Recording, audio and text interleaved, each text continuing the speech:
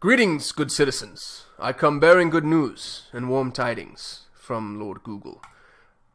Google Ads Editor version 2.0 is live. This is a shockingly no number to me. I feel like we've always had Google Ads Editor, so why aren't we on version like 9,000? Um, I wonder when it came out. I'll Google that. Cool stuff here. You, a, you can create uh, and edit Performance Max campaigns directly in Google Ads Editor. Super cool. Also, my boy Michael Nadalin, shout out, uh, who I did a YouTube video with. You should go and watch that.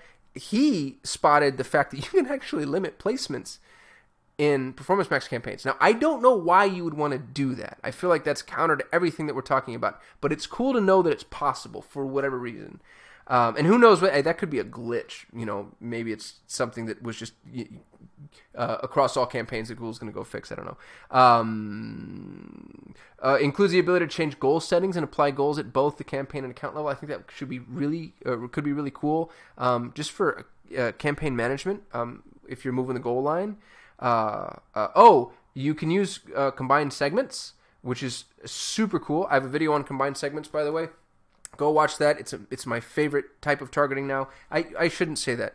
Um, it's my favorite untested type of targeting. It's the one that I'm most excited about. I, I'll always obviously want custom audiences first and foremost because your list is just so powerful. But if you're going after a cold audience, I, I really like what you can do inside of combined segments.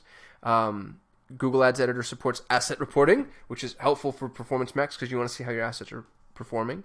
Um, and the ability to run custom actions when a specified event occurs, which is helpful. So those triggers are, um, if you know what you're doing, you know what that is, and if you don't, don't worry about it. Um, kind of nifty, kind of nifty stuff, worth playing with. If you're a Google Ads editor guru, I'd love to know what you think.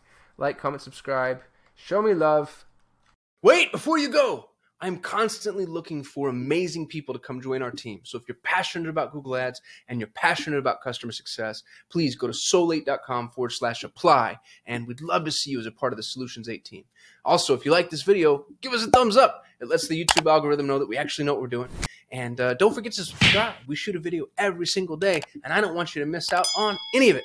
Lastly, if you have questions, comments, concerns, confessions, or you just hate my face and my voice, go ahead and hit us up in the comments. We get very little human interaction, and even the heckling is something that I kind of get a kick out of. So thank you so much for watching. Thank you for being subscribers if you're a subscriber. Don't forget to apply if you're interested in working at Solutions 8. Otherwise, I'll see you tomorrow.